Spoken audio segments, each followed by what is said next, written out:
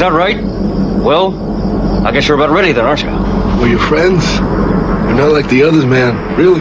No more of that talk or I'll put the fucking leashes on you. Mysteriously motivated movies. Fear and Loathing in Las Vegas, 1998. We got Johnny Depp here, Benicio del Toro, two of my favorites. I'm telling you all time, these guys' chemistry is really good in this movie, but it's mysteriously motivated to me uh, behind the backstory and all that, and just jumping into this film and what they're doing, what they're trying to accomplish in this film, uh, Mr. Depp here. But all in all, it's a mysteriously motivated movie to me, which makes it interesting. Hellraiser, 1987. No doubt about it. Clive Barker here, mysteriously motivated movie to me. Always trying to think of what the motivation here is behind this movie, and actually Pinhead. I mean, is it just for the torture and for the suffering? Is that what it is? I mean, wow, that's pretty hard to take, and it's mysterious to me in so many ways. They don't explain much.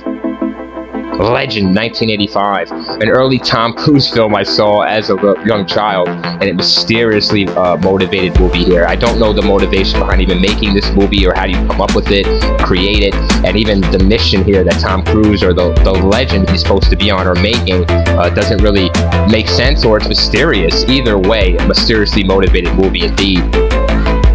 Splice, 2009, Adrien Brody here, and I'm telling you, it's it involves an alien species that they create or what have you, something in a lab they create. They splice the genetic code or whatever it may be, uh, and man, they interact with it in a very physical way, so to speak. Uh, humanoid shit happens here. It's really mysteriously motivated. I'm not sure why why this movie was made or what motivated someone to even write it, but uh, Splice. Village of the Damned, 1995. Mysteriously motivated here. What is the motivation behind these kids and what they really want? Uh, don't really explain it in full in Village of the Damned. It's really mysterious, this movie. Uh, it just keeps it in the dark. It really does, all the way to the very end.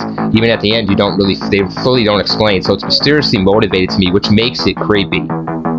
Bringing Out the Dead, 1999. Nicolas Cage, early Cage here in 99. And I'm telling you, this movie is mysteriously motivated. I mean, you know, it doesn't really make true, true to the core sense, uh, but it, that's what makes it mysterious. And also, it's motivated by mysterious reasons, no doubt about it, especially when it comes to Nicolas Cage. Mysteriously motivated movies.